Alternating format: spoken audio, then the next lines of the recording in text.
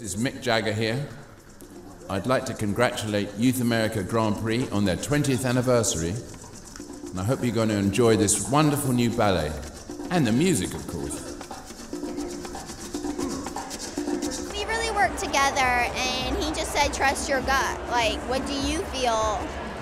You, you know, when you close your eyes and dance, what you know, go with what your instincts are, and I'll help you figure out how to cut this, you know, find the cuts how do we make it work for a ballet audience? So, and that was that. So I pretty much picked the songs that I felt I connected with the most. That's my first time choreographing. And then I was like, can you make these work? and he took it away.